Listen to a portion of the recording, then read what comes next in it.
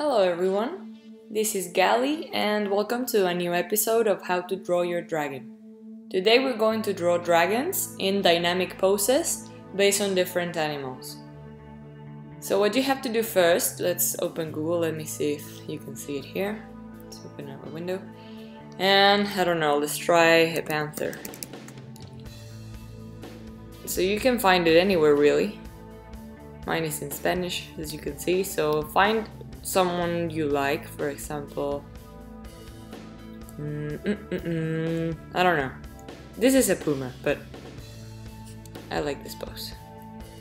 So if you want, you can copy your image and then paste it on Photoshop and then resize it. Something I do for practice. And apparently my Photoshop just decides it's funny to do that to me right now, so don't worry about it. Just scale it. You can also erase the background. Remember you're not stealing this picture, you're just copying and referencing. So it's okay if you don't say who it, who it is from. As long as you don't, I don't know, take this picture, post it online, say it's yours, which is not. So that's that's stealing. This is referencing, okay? So you can take the taboo out of reference right now. So okay, you can grab your picture and you can try to make a new layer and grab a, a bright color and draw on top of it. So you have your head, which is looking this way, and then your neck, your chest, then the spine, and the legs, and the tail. So then you have the arms. You can draw it in a different color, but I would recommend just doing the same color. So it's just like a simplified thing. Now, if you erase this, you will get this, right? So the point in this is not just copying what you see, because sometimes if you just copy, you won't understand why you're making things. So you can copy this and then lower the opacity and this is the fun part. This is when you make your own dragon based on this. So to make a dragon, you have to think of a dragon, not just the animal you copied. For example, you see the other animal, the puma, had a, a head here.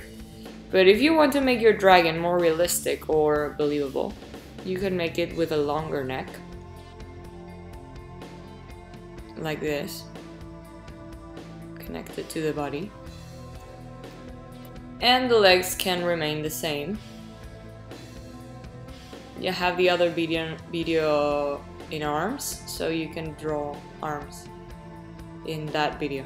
Right now we're just gonna do poses, so.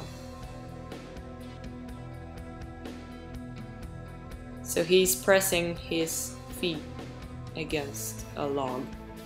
So you don't know where the other arm is, either Google another image or just follow the guidelines. For example, here is his arm, the other arm should be here, and then you can draw the other one based on that. So you have the chest, and you see his legs were like this. You don't have to copy exactly the legs of the animal you were drawing, but this is just to give you an idea of poses you can make for different animals. So for example, you see the tail like this in the puma or in the mountain lion. I think it's a mountain lion. Sorry. Well, the mountain lion has the tail like this because it remains in balance whenever it moves it. But you can make your dragon a different tail. Such as this. Or this. Or whatever you can come, come from. Like, for example, a tail of a puma or a mountain lion would be thinner, as you can see here, but it's, it's thick so you don't have to draw the animal you're making. Like if you have a reference of an animal, don't draw the animal. Try to base yourself on that, but draw your own character. If you're making a dragon, it will be a little weird to just, I don't know, copy the animal and then just add horns and stuff. So that, that will look strange. So for example, the wings. There's another episode on wings, so if you want to know how to draw wings, please go there. Now we're just gonna so you can see better.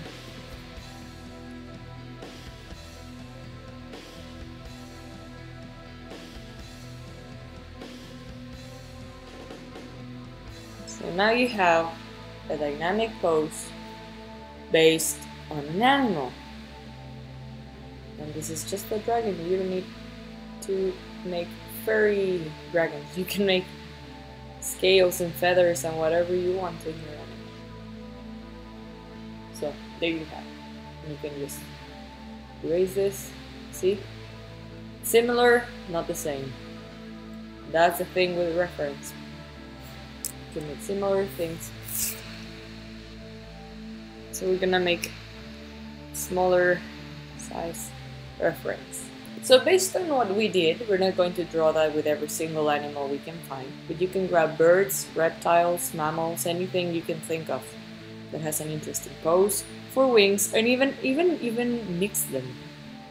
Yes, I said even three times, but you, you can mix them. Like for example, a bat with a bird, or this animal has bat wings, right? You can make it with feathers Mm, you can make many, many different designs based on different animals. So we're going to make a different pose this time with, I don't know, a flying animal. For example, you're making him look this way. And the normal, normal design on these creatures is to make them just facing the side, like this, with their legs here you know, just just like the simple pose in a dragon with extended wings and the horns, and that's it. That's every this every single dragon I can see out there. The ones I made before, they all look one direction, and that's it. They just look to the side. So what we're going to do with this episode is to draw different poses. So you can ignore the simple pose you've been drawing for so long and grab another animal. The simple part of this is making just figures, like for example the oval is the head, and then a line connects the head to the chest, and the chest is another oval, this time is bigger, it's a rib cage. And, of course, this goes connected to the tail, and eventually as we did on this one, you can find the legs. Right?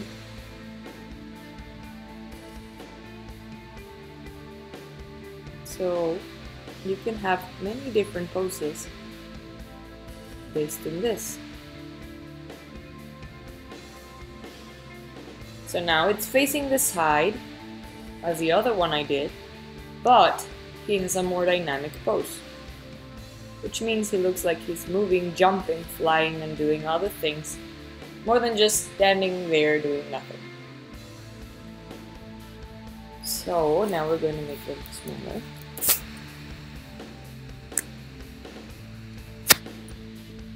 I'm make a new layer. For example, if you want your dragon to be facing another direction, do again the sphere and then the neck connect it to the chest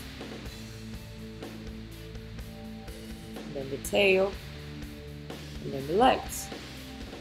As you can see I'm just repeating the patterns again and again and again but in different poses.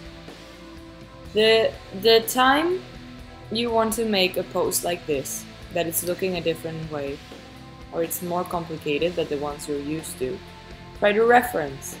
And that's the only way you can really figure out how things look. I can do this pose now because I referenced before.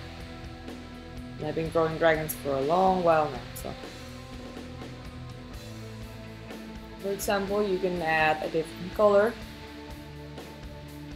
for the wings.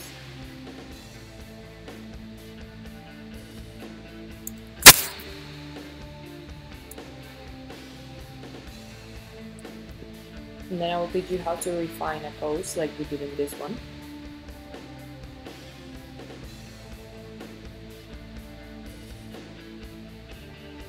And again, the oval connected to the neck, connected to the chest, this is connected to the legs, it's connected to the tail. So, let's do a simple example with this one, okay? I'm gonna bring this up, make it a little bigger. so once you have your dynamic pose, this time, you can add different colors.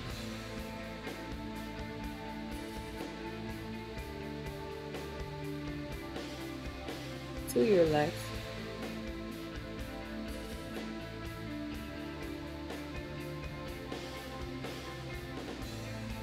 Okay, so now you have this. So what do you do with this? Okay, you have your you have your pose. You already know what you want to do. We're just gonna resize it, put it somewhere, change the opacity. now that you have your pose, grab your tracing paper or a different uh, pencil, a harder color, and try to add more shapes now. This doesn't have to be the final lines. You can just add the details.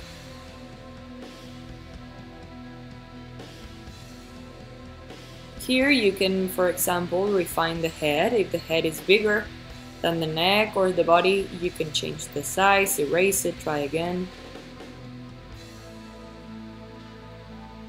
And remember that referencing in this stage is also good. Then you know, for example, if the arms look weird, you can erase what looks weird. Fix whatever it is you don't like and then finally add the lines on top of it. And that makes your sketch or drawing look clear, clean, and, well, believable. Not just a mess of jumbled lines.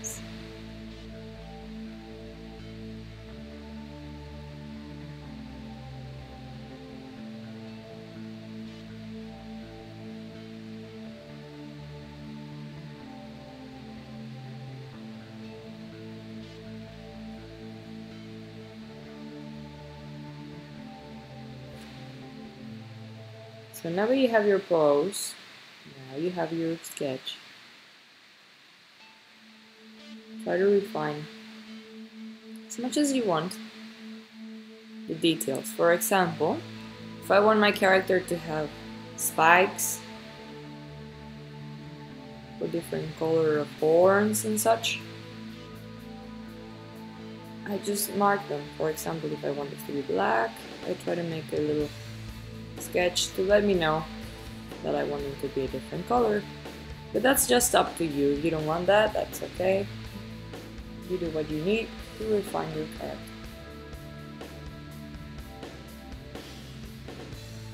When I have the paws on a different side, I just mark them. So for example, that's what you did, right? You have your sketch, you have your other sketch on top of it, and then after that, what I do is I erase this and then I lower the opacity on this. And I'll zoom in on my character, maybe even rotate it. And finally, then you just grab your favorite brush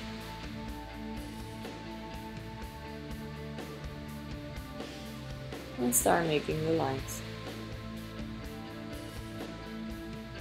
Your character.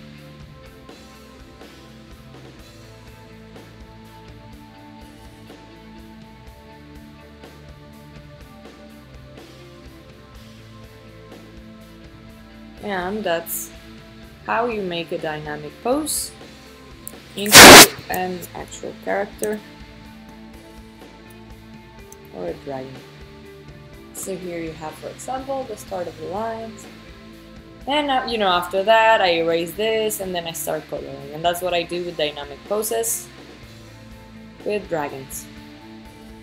These were just a few examples. Of course, there are many other poses you can make, but I encourage you to look for different animals and make your own poses. We cannot cover every pose, and well, I cannot make you copy everything.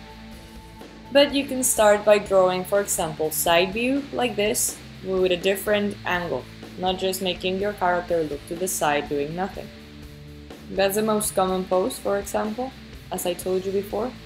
But you can make your character more dynamic just by simply moving some of the parts you draw it. For example, if you have your arms like this, you can make the other arm like this and another leg for behind, moving the tail, folding its wings. Do something more than just a character standing like a stick figure. Like those horses you can see in many cartoons. Like they look like this and that's boring, right? Well, try to make a more dynamic pose just by adding little details. Start by just doing that and then you can make different angles, different poses, moving the wings. Remember that just little movement in your character can make it look so much better. So that's all for now guys. Thank you for watching. I hope you enjoyed this video. There's a lot more to come. And well, that's it. If you like it, subscribe and share with your friends. Thank you. Bye-bye.